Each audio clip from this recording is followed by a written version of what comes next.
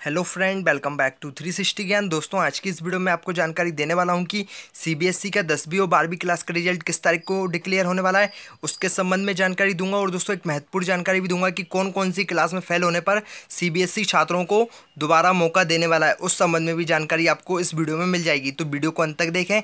आपसे एक रिक्वेस्ट है, अगर आप मेरे चैनल थ्री सिक्सटी ज्ञान पर फ़र्स्ट टाइम विज़िट कर रहे हैं तो चैनल को सब्सक्राइब ज़रूर कर दीजिए एंड बेल आइकॉन पर क्लिक करना ना भूलें, जिससे आपको मेरे लेटेस्ट नोटिफिकेशन मिल सके।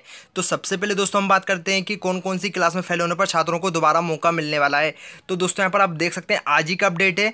सीबीएसई नवी और ग्यारहवीं में फेल होने पर छात्रों को देगा एक और मौका। तो उस खबर को दोस्तों मैं विस्तार से बता देता हूँ और समझा देता हूँ।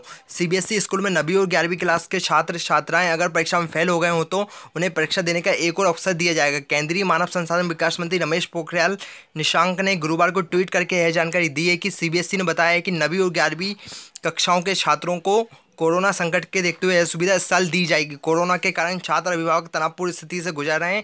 सीबीएसई ने कहा है, अभिभावकों की मांग को देखते हुए बोर्ड ने यह फैसला लिया है। तो दोस्तों, मैं क्लियर कर देता हूँ कि नबी और ग्यारहवीं के स्टूडेंट जो फेल हो गए हैं परीक्षा में, उनको दोस्तों दोबारा यहाँ पर मौका मिलने वाला है। ओनली दोस्तों, इस साल ही मिलेगा क्योंकि देश में कोरोना वायरस काफ़ी ज़्यादा फैल रहा है।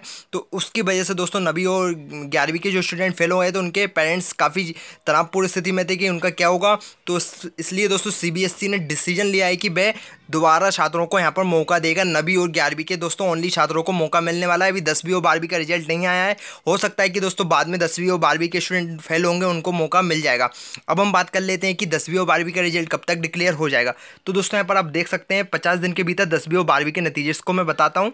पोखरियाल ने देशभर के शिक्षकों से वीडियो कॉन्फ्रेंस के ज़रिए संवाद करते हुए कहा कि दसवीं और बारहवीं बोर्ड परीक्षाओं की कॉपियाँ जांचने का काम जारी है और पचास दिन के भीतर यह काम पूरा हो जाएगा नतीजे जारी किए जाएँगे। देश भर में तिनया मूल्यांकन केंद्र बनाया गया है, जहाँ से कॉपियाँ शिक्षकों के घर पर पहुँचाई जा रही हैं। तो दोस्तों, काफ़ी बड़ी अपडेट है, दसवीं और बारहवीं के रिज़ल्ट का इंतज़ार कर रहे हैं स्टूडेंट के लिए, क्योंकि दोस्तों देखिए, जो एच मंत्री हैं रमेश पोखरियाल निशांक ने क्लियर कर दिया है कि पचास दिन के आपके यहाँ पर सभी कॉपियों की जाँच यहाँ पर दोस्तों हो जाएगी। करीब डेढ़ करोड़ के आसपास अभी कॉपियों की जाँच होना है दोस्तों, जिसके लिए तीन हज़ार मूल्यांकन केंद्र बनाए गए हैं।